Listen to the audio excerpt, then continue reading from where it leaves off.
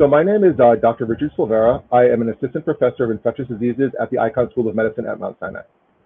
So monkeypox is a viral infection, um, part of a family of viruses called orthopoxviruses, um, which all kind of cause similar symptoms. The symptoms of monkeypox are very similar to chickenpox symptoms. You might have systemic symptoms like fevers, chills, muscle aches, swollen glands, um, as well as skin lesions. So monkeypox cause specifically firm bumps on the body. They generally occur as in the genital area or the anal area, but they can be anywhere on the body, including inside the mouth, on the body, on the torso, on the hands, anywhere really can have a monkeypox style lesion. So monkeypox has not been deadly in our current US outbreak. Um, there have been monkeypox has been around for, for a long time, and there have been outbreaks all over the world. It is a um, epidemic virus in Africa, so we have infections every year. And in, in that in Africa has been particularly uh, dangerous among children. But here in the US so far, there have been no deaths associated with monkeypox. So monkeypox is infectious, it is contagious, it's spread from person to person contact. Um, it is not as contagious as COVID-19 is. Um, so monkeypox is primarily spread through skin-to-skin contact, so close, intimate contact.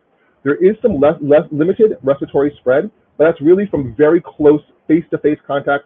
So you wouldn't have to be worried about catching monkeypox from, say, being in the same room as someone who has monkeypox. It'd really be like face-to-face -face close breathing on another person. Yes, we have two vaccines to prevent monkeypox. One is called the Jynneos vaccine. The other one is called the ACAM 2000 vaccine. So primarily in the US, we're using the Jynneos vaccine. So, so most cases of monkeypox would not require treatment. Most people who contract monkeypox the lesions will resolve and they'll fully recover without any intervention. Some people may require special treatment. That might be people who are pregnant, people who have particularly painful lesions or lesions in a particular part of the body that can be difficult for doing things like eating or having bowel movements, um, as well as people who are immunosuppressed or have other medical problems. They may benefit from treatment.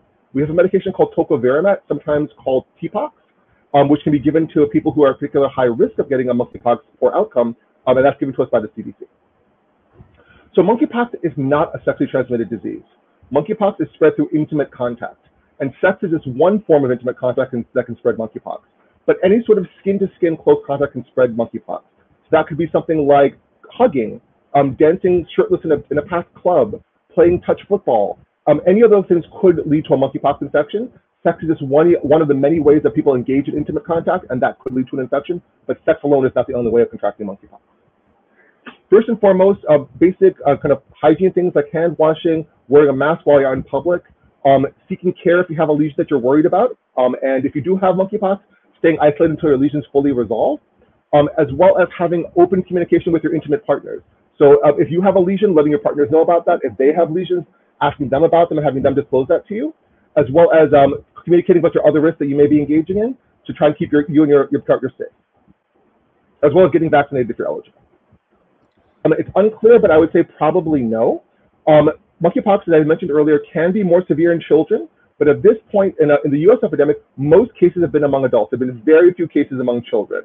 And so our best get, bet of protecting children will be keeping adults safe, trying to contain monkeypox outbreaks right now and trying to keep anyone who's at risk protected from, from contracting monkeypox.